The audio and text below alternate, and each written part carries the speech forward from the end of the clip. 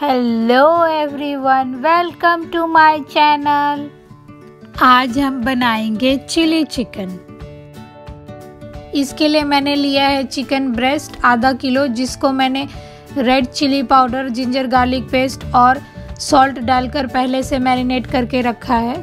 अब इसमें एक अंडा डालना है तोड़ के और फिर उसमें एक टेबल स्पून कॉर्नफ्लावर और एक टेबल स्पून मैदा डालकर अच्छी तरह से इन सब चीज़ों को मिक्स करना है।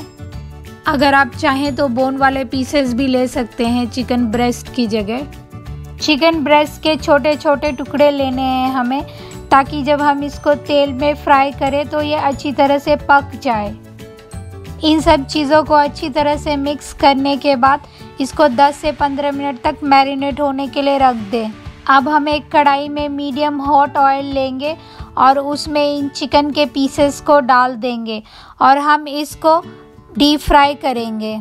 इसको दोनों तरफ़ से पलटते हुए गोल्डन ब्राउन होने तक पकाना है और उसके बाद हम इसको तेल से बाहर निकाल लेंगे।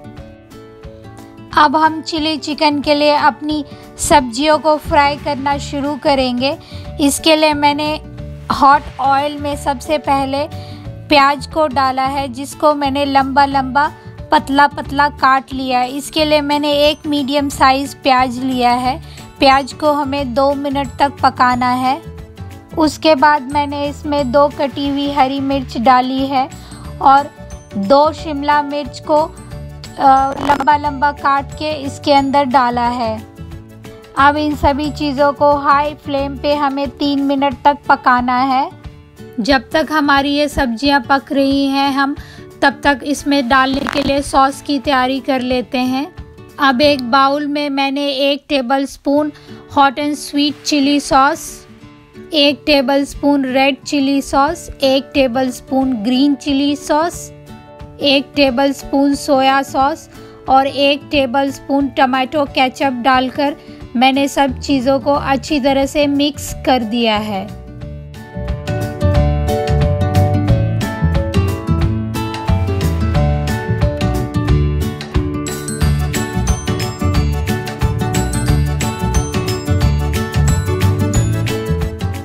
हमने जितने भी सॉस को मिक्स किया है, उन सभी में सॉल्ट होता है। इसलिए हम इस सब्ज़ी में बस एक चुटकी सॉल्ट डालेंगे। और उसके बाद मैंने जो सारे सॉस मिक्स करके रखे हैं, उनको इसके अंदर डाल दूँगी और अच्छी तरह से मिक्स करूँगी। इन सब चीज़ों को मिक्स करने के बाद हमें इसको दो मिनट तक हाई हीट पे पकाना है। दो मिनट बाद एक कटा हुआ ग्रीन अनियन इसके अंदर हमें डालना है और उसके बाद जो हमने चिकन के पीसेस फ्राई करके रखे थे, वो भी इसमें डालना है और इन सभी चीज़ों को अच्छी तरह से मिक्स करना है। अब इन सभी चीज़ों को हमें तीन मिनट तक और पकाना है हाई फ्लेम पे। अब हम इसमें डालने के लिए कॉर्नफ्लावर का बैटर बनाएँगे। इसके लिए मैंने आधा टी स्पून कॉर्नफ्लावर लिया है, उसमें तीन टेबल स्पून पानी डालना है और इसका एक पतला सा घोल बनाना है।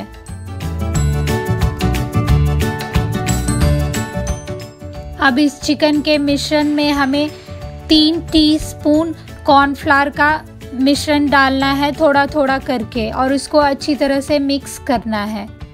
कॉर्नफ्लावर डालने के बाद हमें इसको पाँच मिनट तक और पकाना है मीडियम फ्लेम पे। चिली चिकन अब सर्व करने के लिए बिल्कुल रेडी है। इसको आप फ्राइड राइस या नूडल के साथ सर्व कर सकते हैं। अगर आपको मेरी ये रेसिपी अच्छी लगी तो please like share and subscribe my channel thanks for watching